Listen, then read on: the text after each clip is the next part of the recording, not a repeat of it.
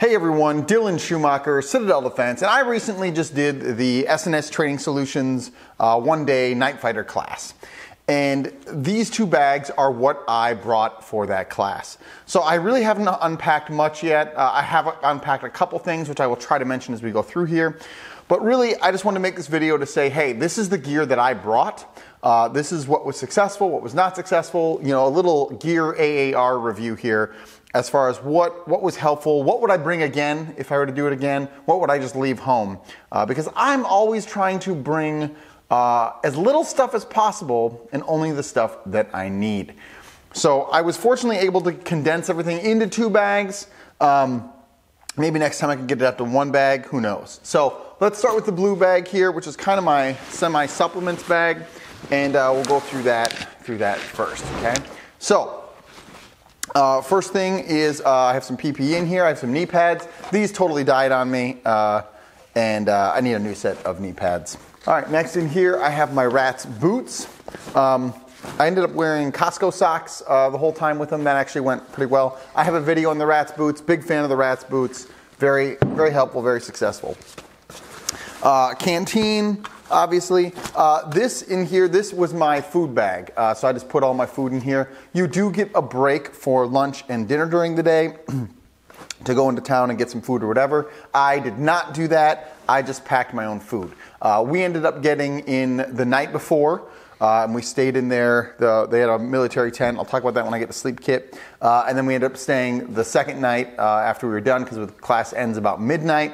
Uh, and then we got out of there early Sunday morning. So this was my food bag, and I just put a bunch of meats and cheeses and a loaf of bread and some other snacks in here. I do have a MSR stove in here that I use to heat some tea. Um, that's what I have this Pathfinder cup thing for. Uh, so I use that to, to, heat up some tea. But by and large, that's that's rated for food. I, I tried to, again, contain my food there. Um, this is just some general other PPE stuff. Uh, so these are my gaiters, which I did not use, didn't use my gaiters at all, and uh, some insert elbow pad inserts for my TRU-SPEC uh, uniform top, which I did not I did not use. I don't have any of my clothes in here because they all went in the wash, but I brought a woodland top um, and just a coyote brown pant bottom.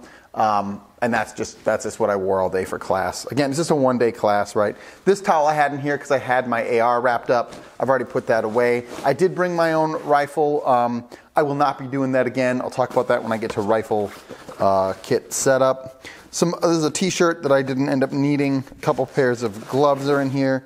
Um, this is my pocket kit uh, is what I call it, I guess, but it's just all the other little essentials that I tend to keep in my pocket, right? So red headlamp, for example, uh, that's, you know, important, um, especially when you're doing night stuff.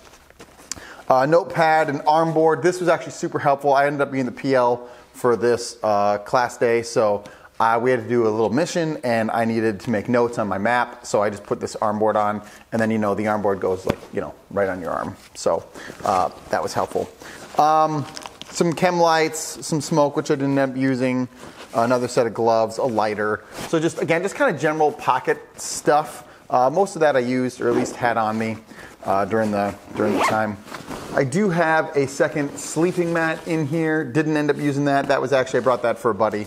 Didn't need that. And that's that's pretty much it uh, for for this bag here.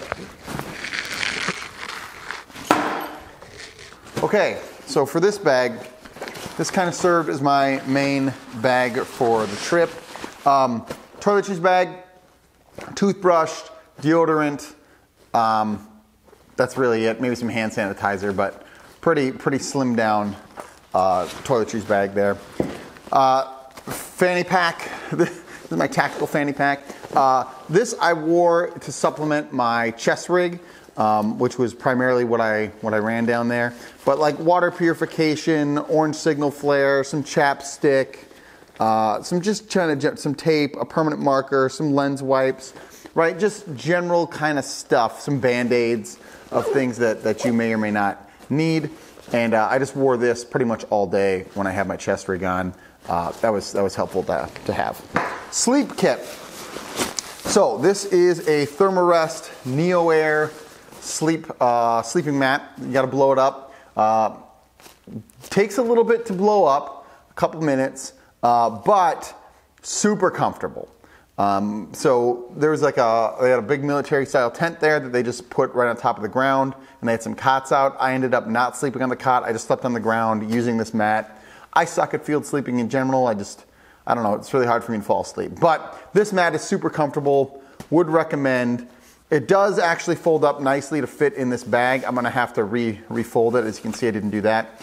This is a Trek Trekology Aluft pillow. I'll put uh, Amazon links to these in the, the description here. But this was also helpful, comfortable. Um, those two together, you know, as you can see, I've tied them together. Um, or maybe you can't see that. I've tied them together. I really like that. I really, really like this because if I have to ruck it, it, it folds down pretty small. Like I said, you can get it to fold in here, right? Um, so I just need to refold that. But I really, really like that as a uh, sleep kit option. This is the Recon 3 sleeping bag. Uh, I've had this for a couple years. I'm just looking for the tag here. Um, had this for a couple years, really like it, would recommend it. Um, this was comfortable. This says it's good down here, it is. Recon 3. Uh, this says it's good down to 23 degrees. Um, that's probably questionable. You're probably looking more like 33, 30 degrees, something like that. Uh, and that's with like, I usually wear ECWCS uh, second layer as my pajamas, and then I put a hat on and some wool socks on, and then I'll crawl into here. That's usually kind of my, my sleep thing. And it got down to like 40 uh, ish degrees, I'd say both nights around there.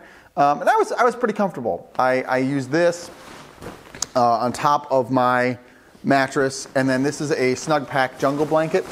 And then I just tossed this over the sleeping bag. One of the nights I got too warm with this over, so I didn't I didn't actually need it. But uh, I was pretty pretty comfortable uh, between all those. I think eventually I'll get the Recon 5 bag, which is like their winter bag for winter stuff. Um, but like I said, I, I like this sleeping bag. I will use it again. Um, I only have nice things to say about it. Apparently there's an internal Velcro pocket here, which I didn't, I don't think I knew that that, that happened. Um, fan of the fan of the sleeping bag. Would use it again. You know, you need a you need a sleeping bag. Uh, yeah, that's that. And then my bivy bag. Here it is. And this is my bivy bag. This is just an old uh, Milsurp uh, woodland bivy bag. I ended up taking my sleep mattress, putting it inside the bivy bag, set that on the ground, and then just slept on top of the bivy bag. So that ended up working out for me. This is my DPM smock. I ended up not using this at all. Uh, could have left that home or just brought this and not my woodland shirt. This is uh, my bump helmet. This is a cheapy Amazon bump helmet. Um, I actually have problems with this. I put the halo on here, which you need for the MILES gear, and I thought the weight was going to be okay. But then when I had the the night vision down, it wasn't. Oh, sorry. Then when I had the night vision down, it wasn't aligning correctly to my eye. Um, and so I actually struggled, and I ended up not using my night vision most of the night um, because it was a it was a real struggle with this helmet. So I'll either bring a ballistic helmet next time, or buy a Primo um, bump helmet like a Team Wendy or something, or I'll have to mess with this a little bit to see if I can I can get it to work. But that was actually a struggle. Uh, face paint in here, didn't use that at all. Uh, this is the uh, packing bag for the uh, blanket, the jungle blanket from Snugpak. Good blanket, would recommend that. Uh, t-shirt in here that apparently I didn't use. Some multicam gloves. I like the Fast Fit Mechanix gloves. I'm a fan of those. This is my yoke pack. Big fan of the yoke pack. Talked about it before. Have a video on the channel about it. Uh, didn't use this at all, actually. So most of the lanes were just um, pretty short. You know, at most I was away from base for a couple hours and uh, I'll get to it, but I just ran my chest rig. That, that was easier. So uh, even at night when I went out, I just took my night vision out, uh, mounted it on my helmet, and went. Um, so I didn't run a ruck at all, and uh, that was nice. I, I like that. I like not running a ruck. Some people will say, hey, you need to train like you fight, and I get that. That's a valid point. How I'm going to fight is carrying as little stuff as I need for that mission as possible. So if I can get away without carrying a ruck, you better believe I'm gonna I'm gonna do that. So Uh, if I went again, I wouldn't. I wouldn't bring this. Honestly, I would just. I would just leave it, um, and uh, wouldn't wouldn't take it with. Um, this. This is my. Let's make sure you can see that here. This is my little weapons kit uh, that I ended up using. So I ended up stripping all the stuff off my rifle and putting it on one of their rifles. And honestly, going forward, that's what I would tell you to do. So I have a little foregrip thing in here. This is a Strike Industries one that does a little bipody thing. Um, that's nice. It attaches right to Picatinny. This is a Streamlight. Um, again, attaches direct to Picatinny, so that's nice. Um, this is my DBAL-D2 that I just pulled off my gun. I need to put back on my gun. And uh, this is an Aimpoint uh, Pro. So put the Aimpoint Pro on, zero the dot based off the irons, then toss the laser on, zero the laser to your dot. Uh, pretty simple, worked, worked pretty well. Uh, so this is kind of what I would do going forward as far as how I'm gonna prepare to use one of their guns. Uh, I would just bring a sling uh, and then toss that on as well and have a little, little weapons prep kit. And then once I get my rifle, I would just um, throw all my fun toys on there. That, that seems to be the best way to do it. I brought my rifle. I just had problems with it. It wasn't cycling correctly. And, uh, you know, you have blanks and maybe I have a different buffer weight or a different spring, a buffer spring or, you know, just whatever. And it just wasn't worth the hassle. And so I ended up just, just using one of their rifles, which again, going forward, I think is probably what I would just do. Uh, chest rig, then, of course, I brought the Spectre chest rig. This actually worked super well. I'll probably do a second video on this, but this was my minimalist loadout basically. So I just had a water bottle, uh, my blade, my IFAK here on the bottom, and this uh, dangler from Ferro Concepts. And then uh, this, I carried my thermal over in this pocket. Now, I gotta say, I did a lot of uh, low crawling, you know, where you're dragging yourself across the earth. And the GP pouch, uh, GP protection insert here that I have for this, which you should get one of those if you own a Spectre because it's good, uh, protected my thermal just fine. So, you know, here is, there you go. You can see it. There's my thermal. Uh, and the GP protection insert did a great job protecting that thing from all kinds of low crawling that we did. Um, so I would, uh, I would recommend that. You should really own one of those. And that, that's really it. This is what I ran. I do have my radio on here, but I didn't use that at all. One of my other buddies brought his radio, but he never put it in his kit. So we never really really used that. Um, but that was that was highly successful. I, I, really like the chest rig that I designed, if I can say that. So that's basically it. Those those are all the major things that I brought. You know, sleep kit takes up the most room, and so when you're going to events like this, that's really uh, just a big portion of your bag, right? Is, is sleep kit. So bring sleep kit. You know, and uh, I would recommend you bring a pack, even though I didn't use mine. I probably wouldn't bring it again, but I had to kind of learn that lesson. A lot of guys ran their packs. I didn't. You do it do you.